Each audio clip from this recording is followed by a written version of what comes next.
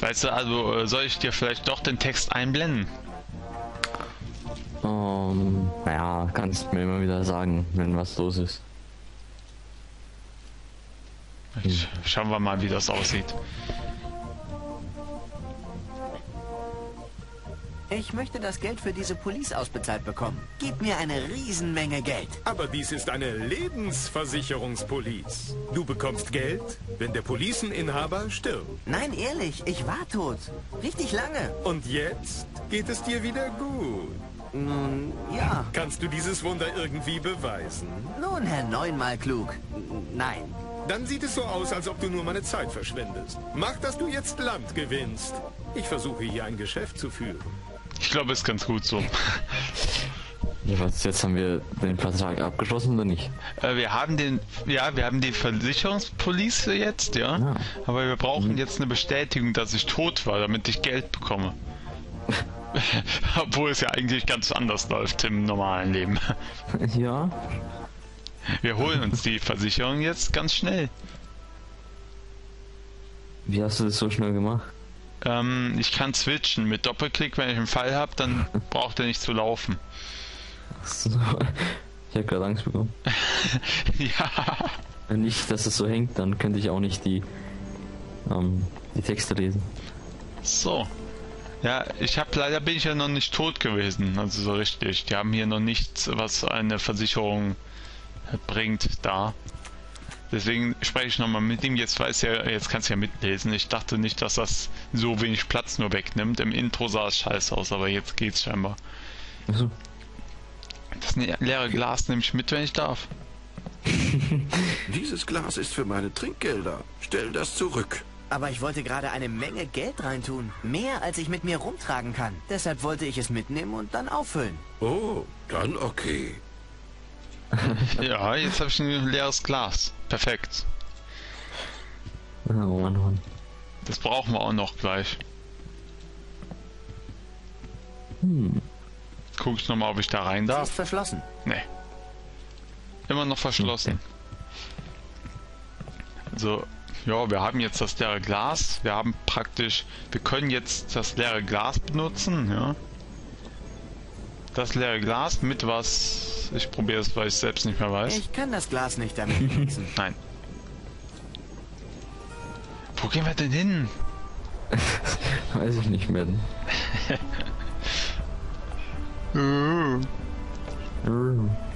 Ah, jetzt weiß ich es wieder.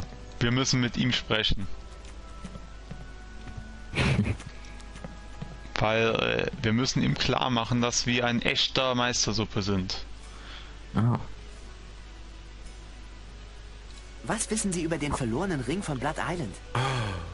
Das ist ein sehr trauriges Kapitel in der Geschichte meiner Familie. Meine Großtante, Minestrone Meistersuppe, war ein gut situiertes Mitglied der Blood Island Gesellschaft. Ihre einzige Schwäche war ihre romantische Art. Sie hatte etwas übrig für Piraten und für einen davon ganz besonders. Er kam in den Hafen, sie verliebte sich auf der Stelle und innerhalb einer Woche waren sie verlobt. Dann am Abend vor ihrer Hochzeit stahl er den fantastischen Meistersuppe-Diamanten von ihrem Ring und verkaufte ihn als Schmuggler auf der Totenkopfinsel. Sie trug den leeren Verlobungsring an ihrem Finger bis zu dem Tag, an dem sie starb, welcher nicht viel später war. Manche sagen, dass sie immer noch in der Gruft der Familie Meistersuppe spukt. Es ist eine traurige Geschichte, oder? Oh, Entschuldigung, ich habe nicht zugehört. Können Sie das wiederholen? Hau bloß ab, Suppenkasper.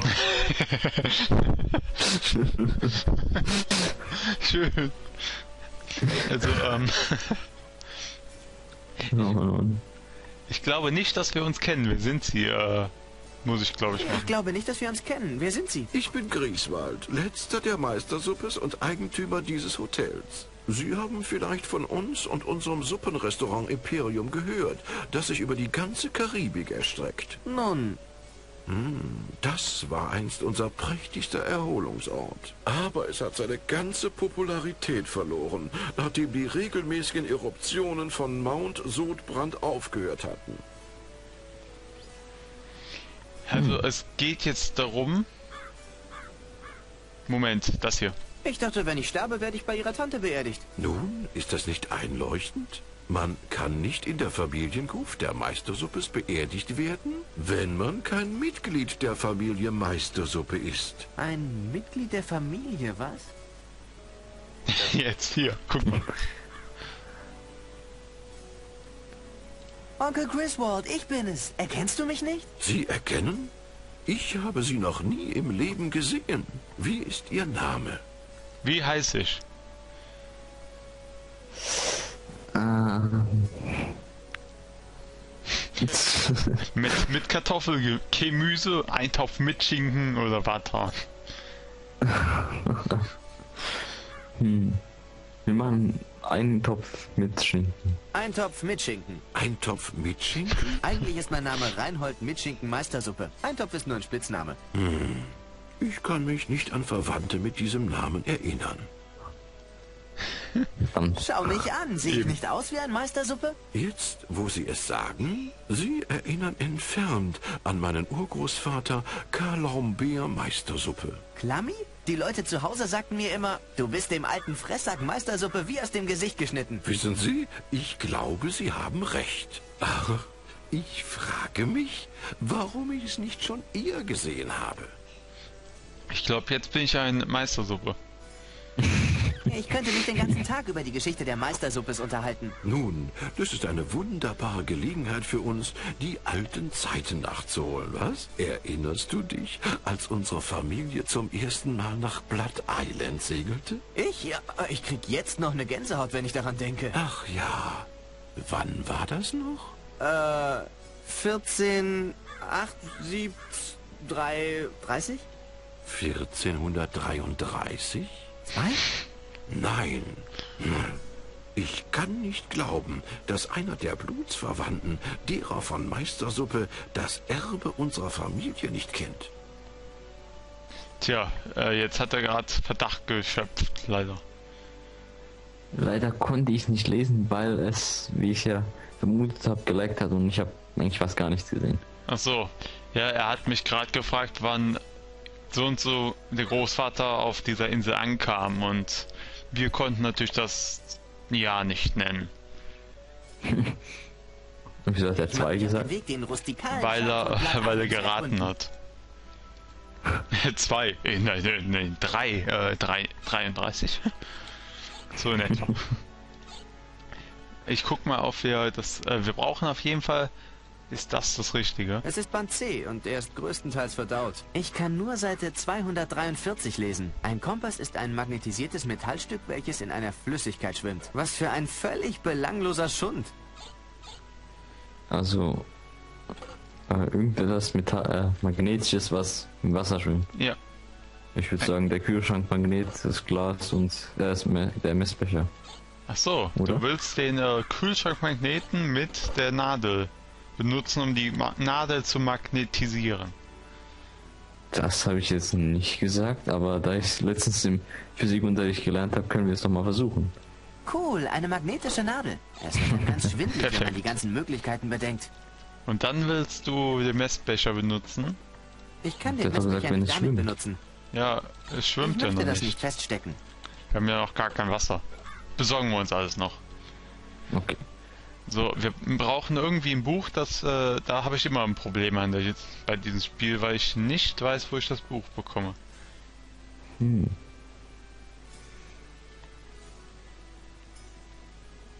Ich möchte ein Getränk. Vielleicht sterbe ich, Ich möchte nochmal. einen Drink, bitte. Genau. Ich sterbe am besten nochmal und gucke, was passiert. Ich fürchte aber, wir kommen wieder im Falschen aus. Und jetzt trinke ich. Gluck, gluck, gluck.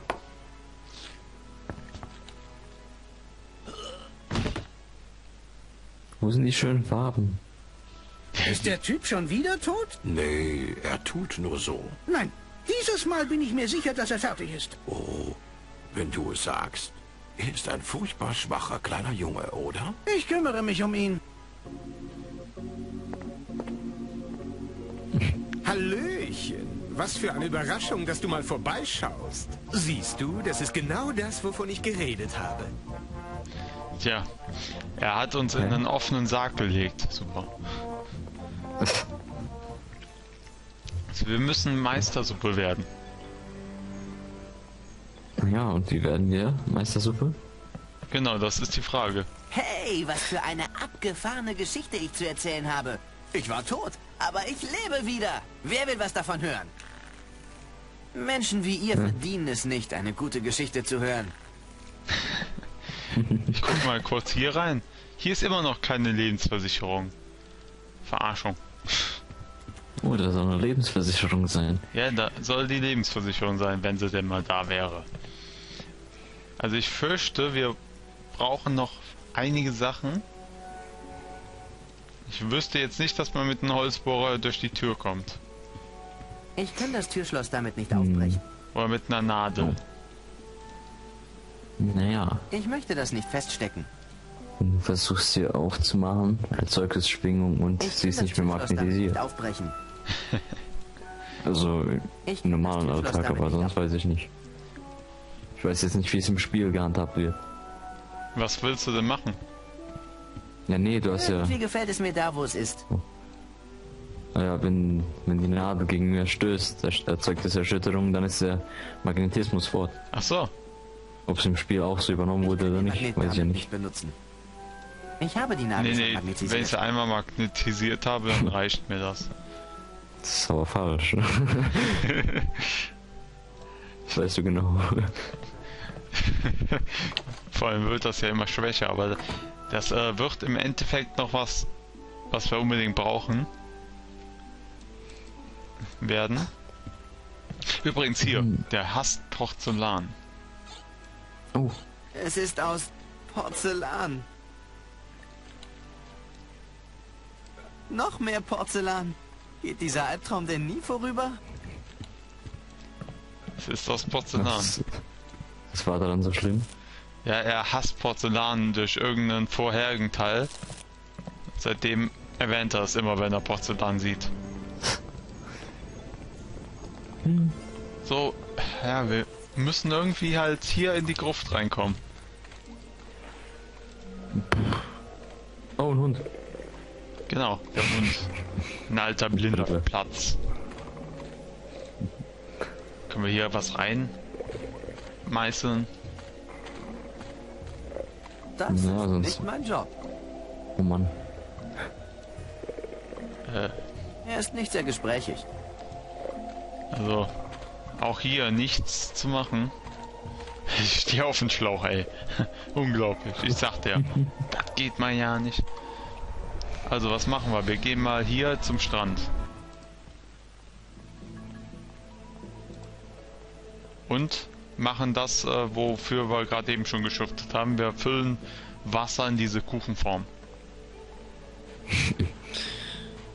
Diese Kuchenform würde hier nichts nützen. Diese Kuchenform würde hier nichts nützen. Hey, mach doch. Dann nicht. Vielleicht in ein Glas rein tun, dann in das umfüllen, ich weiß es Das nicht. Salz im Meerwasser könnte die angeschraubte Metalloberfläche zerfressen. Hey. Na. Ich... Wie mache ich das? Ich weiß nicht. Ja. Ähm, ich möchte jetzt nicht dumm rüberkommen, aber es ist gerade 6.07 Uhr und ja. So, ja, Ado, Ja, du musst los. Dann weiter. werde ich auf mich allein gestellt. Nur probieren, ob ich hier Land gewinne, ja? Tut mir leid. Macht nichts. Aber schön, Ja, dass du dabei warst. Ja. Schön, dass du dabei warst. Ja, kein Problem. Nette Rätsel.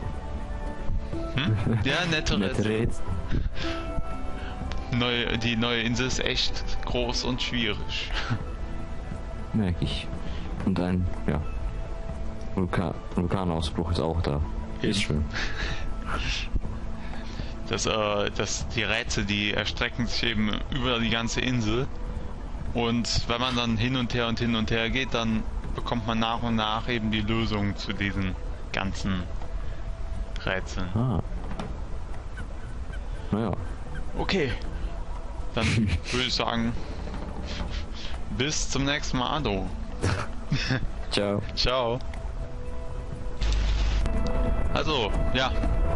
Ado ist weg, wir machen weiter. Das heißt wir. Ja doch, ich und ihr. Klar, wir machen weiter. Das heißt, nicht, dass ich jetzt alle Rätsel löse. Das wäre ziemlich komisch.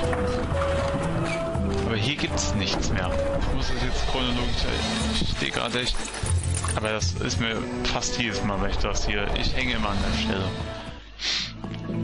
Da geht zum Leuchtturm, da wollen wir nicht hin, da müssen wir noch nicht hin. Oder komm, wir gehen mal hin, vielleicht ist da wirklich noch was, was ich vergessen habe. Junge, ist das windig hier oben. Ich kann jetzt auch die die ähm, Untertitel wieder ausmachen. Weil ihr hört das ja im Endeffekt. Nein. Also hier ist nichts, wir sehen nur, der Leuchtturm ist kaputt. Das heißt, wir können wieder runtersteigen. Es wird jetzt ziemlich schwierig für mich. Natürlich könnt ihr offscreen machen und gucken, solange bis ich die Lösung finde, aber ich möchte schon, dass ihr ja, es mitbekommt. Ich habe gerade was eingesteckt. Hätte nicht gedacht, dass ich mir Broschüren mitnehmen kann.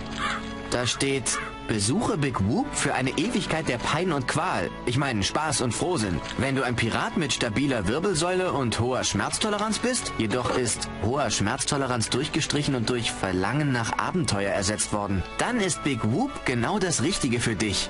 Besuch Big Whoop. Sofort. Es sind keine Bilder oder Karten drauf. Da steht nur, es ist ein Heidenspaß. Ehrlich.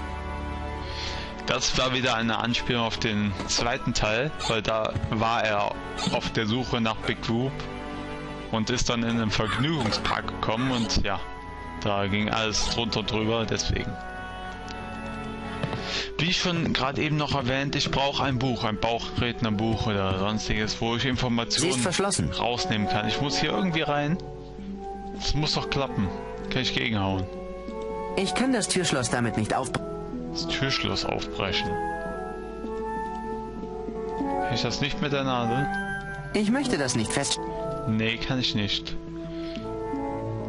Mächtige Rasierseife, Das braucht nicht eingeseift zu werden. das Schmiergel, das habe ich auch noch. Ich kann das Türschloss damit nicht aufbrechen. Ich rede nochmal mit ihm, bis er mir vielleicht doch ein Buch gibt. Ich könnte mich den ganzen Tag über die Geschichte der Meistersuppes unterhalten. Ich bin immer noch nicht überzeugt. Jeder Meistersuppe ist bestens über unsere noble Familiengeschichte informiert. Wenn Sie etwas über unsere Familie gewusst hätten, hätte ich Ihnen geglaubt. Also wir müssen tatsächlich was über seine Familie wissen. Sonst geht's nicht. Ich mache mich auf den Weg, den rustikalen Charme von Blood Island zu erkunden. Nur wo kriege ich dieses Buch her, verdammt? Ich habe hier keine Lebensversicherung und kein Buch. Und sonst richtig viel dabei dafür. Diesen Deckel, Da, ich habe Löcher reingestochen. den kann ich schon mal schon mal löchern. Was Ado noch meinte, da hatte ich schon irgendwie off gemacht. Ja, schon tonlos, was weiß ich. Er meinte zu mir, man könnte eventuell den Korken mit der Nadel benutzen, die mir magnetisiert ist. Ich probiere es aus, ich weiß es wirklich nicht mehr, ob das ging. Unvorstellbar, aber gerade ist mein Spiel abgestürzt, deswegen dieser kleine Schnitt. Und ich habe keinen Ton. Jetzt aber. Tja, gerade im Moment, wo ich diese beiden Dinge verknüpfen wollte, da sind sie, der Korken und die Nadel. Probieren wir es aus. Okay, Es klappt. Ah, du, du hattest recht. Dein Vermächtnis, der Korken mit der Nadel. Sehr gut. Den können wir aber noch nicht benutzen. Und das brauchen wir noch für später.